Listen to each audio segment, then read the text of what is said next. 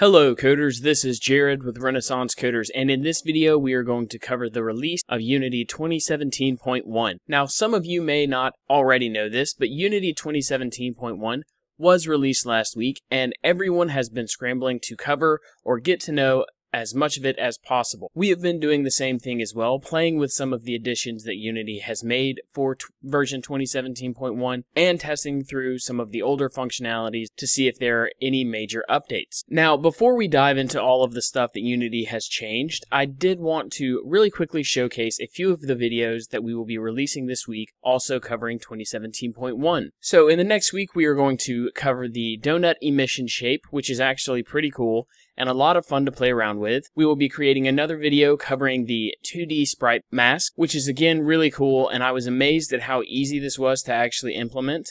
Another video that we will be creating is going to cover the particles noise module. We will also be creating a video that is going to be covering the post-processor effects or the new stack. And finally, if we are able to complete the videos for the Cinemachine and Timeline updates, then we will release those videos as well in the next week. Okay, coders, without further delay, let's cover some of the known issues, features, changes, and improvements for Unity version 2017.1. We are going to cover the API changes as well, but there are a lot of them, so we are going to do that in a different video. Okay, we are going to start with the known issues because we definitely need to know what those are. There are only three of them. The first one deals with audio, and on Windows, the audio source attached to a video player produces choppy sound when game iterations are overrunning. For global illumination, lit clustering debug visualization does not show. And for XR, there are rendering problems on Pixel Daydream when using 4x or 8x multi-sample anti-aliasing with single pass stereo. Now, that last issue is actually being caused by a driver issue, so that issue is going to have to be fixed outside of Unity. Now we are going to cover some of the features that Unity has released with version 2017.1. Again, there are a lot of them, so we are not going to cover them all, but we will be sure to link to this page on Unity's website and the description below so that you coders can review the full list. So starting off with 2D, Unity has introduced a Sprite Atlas, which is a new asset, and the Sprite Atlas will eventually replace the Sprite Packer. Based on what I have seen, this gives us more control of the packaging of our sprites and speeds up the workflow process as well. Also for 2D, Unity has introduced sprite ma- masks. We are going to create a video, as I said earlier, to showcase this component as well. But basically, this will allow us to easily mask sprites in world space using this new component. And it's really, really cool. Now let's move on to animation. For animation, a new game object recorder has been introduced in Unity Editor.experimental.animations, which you can see by this GIF here. Now let's move on to the build pipeline. For the build pipeline, the Asset Bundle Browser is now out of beta. This tool allows us to view and edit the configuration of asset bundles for our Unity projects. Now let's move on to some collab updates. This update is actually pretty cool. Basically, Unity has added in some in-progress functionality that allows developers using Unity Collaborate to see who has made local changes to a scene or prefab before the changes have actually been published. So that could be helpful to teams using Collab. Now we're going to move on to the editor. Unity has introduced a new arc handle class, which has been added into unityeditor.imgui.controls, which allows us to interactively edit arcs in scene view. Now we're going to move down to particles. So there's a lot of other stuff here, but again, we'll link to this so you guys can check it out. Inside of particles, Unity added in support for using sprites in the particle system via a texture sheet animation module which is pretty cool. Unity also added in a noise module to the particle systems that allows us to add noise to the sizes or rotations of our particles. And I've actually played around with that module as well, and it is really, really cool and allows you to create some really cool effects pretty quickly. Finally, for particles, Unity added in a new donut emission shape, which is actually, again, it's a lot of fun to play with and we're actually going to create a video showing you guys uh, what we were able to create really quickly using this new emission shape. Okay, that's going to do it for the features that we are going to cover in this video. Again, there's a lot of them in here, so feel free to you know click on the link below and check these out for yourself. Now we are going to go into a much greater level of detail in those videos covering the new assets or features. But this video is really more of a briefing on version 2017.1, so let's move on to the changes that Unity has made for this version. Now we're only going to cover a couple here because there really aren't that many changes. So for the editor, Unity has added in a new game object submenu called Game Objects Effects, which allows us to easily add particle systems, trails, and lines. If you've already downloaded 2017.1, you may have noticed some additional submenus,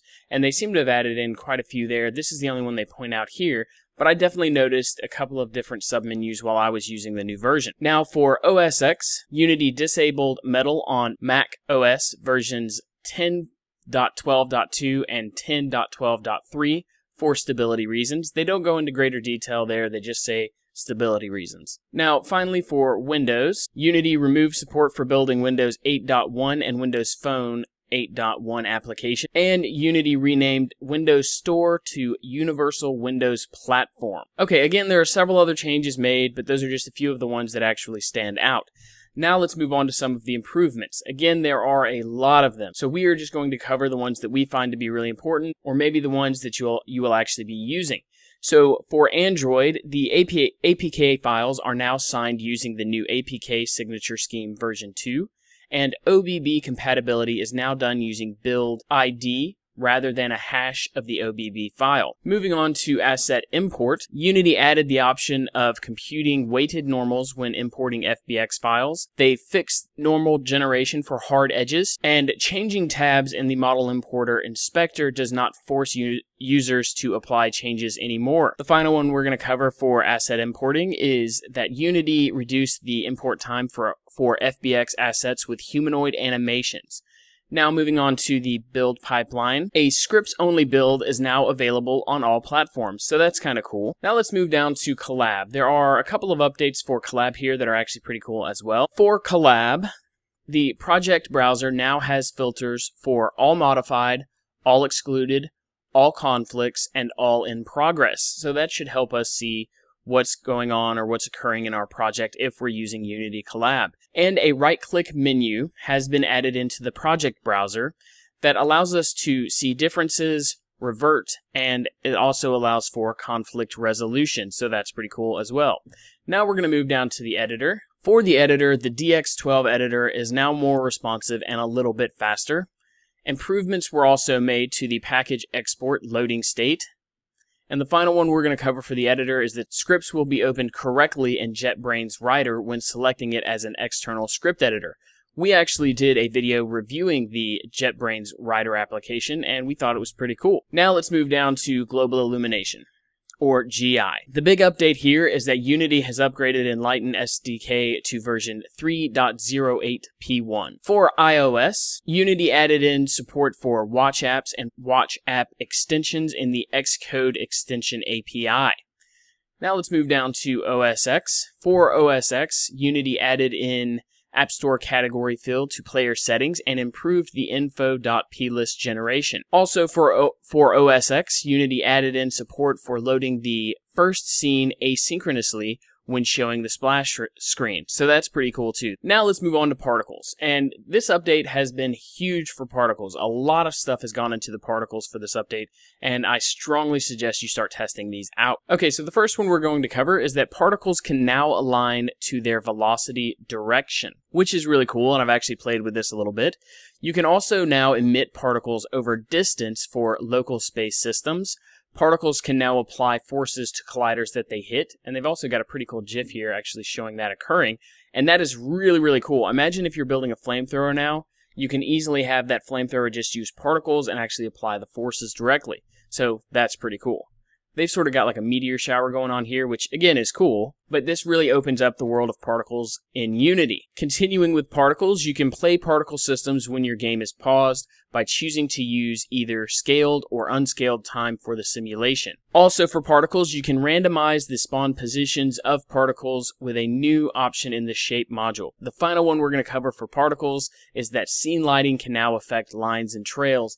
Again, really cool, really important, and expanding the world of particles for, for Unity. Now the last thing we're going to cover here is actually for Samsung TV. Unity Web Request is now supported on Samsung TV, which is really cool. You know, Unity seems to really be opening up on a lot of different platforms and applying a lot of their knowledge into expanding these platforms. There's a lot of stuff in this update that we're not going to cover in this video.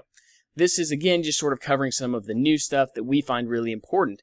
Of course, there are a lot of API changes, but like I said at the beginning of this video, we're going to create another video that dives into some of the API changes because there are a lot of them. And we want to have that separate video so that we can initially play with 2017.1, test out some of the API changes, and then see how they affect Unity. And a lot of these API changes actually apply to the newer features of Unity and not necessarily some of the old ones. So it's not like they're changing up the way you have to get component or something like that or at least I haven't seen that yet. Okay, coders, that is going to do it for this video. There are a lot of fixes that Unity has implemented for this version as well. But again, we want this video to really cover the newer aspects of version 2017.1. Let us know in the comments below if you would like for us to review the fixes that Unity implemented as well, and we can create another video going through the fixes. Finally, we will be releasing several videos covering a lot of this new functionality over the coming weeks, with several videos actually coming out this week. So definitely be sure to check those videos out, and I look forward to seeing you coders in those videos.